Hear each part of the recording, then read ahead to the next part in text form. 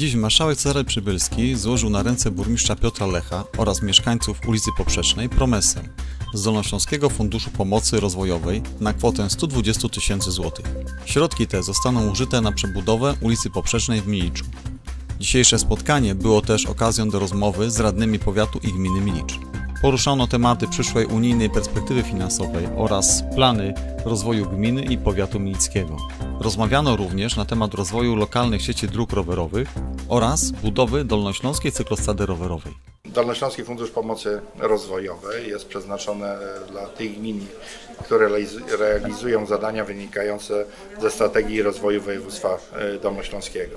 E, Ponad 123 tysiące złotych na rozbudowę drogi poprzecznej e, w Miliczu. Ogromne zainteresowanie, bo aplikację złożyło 99 e, gmin, natomiast e, 25 gmin otrzymało tą e, dotację. Jest to 3 miliony corocznie budżetu z, dochodów, z dochodów własnych na wsparcie i pomoc dla gmin.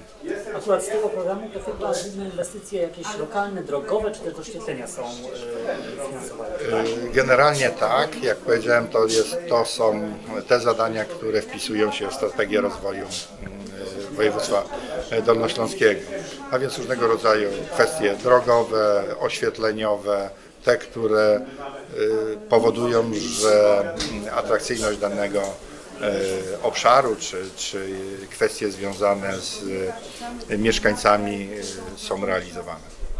Ulica w tej chwili jest no, naprawiana sukcesywnie że, y, tłuczniem, ale y, powstają kałuże po takich ulewach i najbardziej zalewa naszą posesję, gdyż my pierwsi wybudowaliśmy dom i, i, i taki właśnie jest, y, takie jest ukształtowanie tej drogi, że woda spływa właśnie na naszą posesję.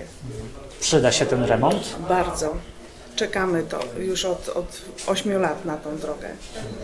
Co tam ma zostać wykonane? Z tego co się orientujemy, to ma być y, kostka y, wyłożona droga kostką, y, chodniki, no i wszystkie media, które są potrzebne, kanalizacja i, i te y, właśnie ściekowe rynienki. Promesa to jest jeszcze niewiele. Promesa jest przyrzeczeniem, jest y, przyznaniem środków. I tak naprawdę najważniejsze są y, środki, które pan marszałek dzisiaj przywiózł do Milicza. Może one nie są, y, nie robią wielkiego wrażenia jako kwota, ale robią ogromne wrażenie jako element składowy kosztów wybudowania ulicy w całości od początku z y, kanalizacją sanitarną, z kanalizacją deszczową, z oświetleniem i tak. To jest ulica Poprzeczna w Miliczu, y, w centrum miasta, ale w ogóle nie, nie miejska, bo ulica gruntowa. Zapotrzebowanie na jej wykonanie, remont był ogromny, mieszkańcy od dawna już o to wnioskowali. Dzięki temu, dzięki tej kwocie i środkom, które samorząd dołoży, bo musi oczywiście dołożyć, w tym roku ta ulica zostanie wykonana, wybudowana e,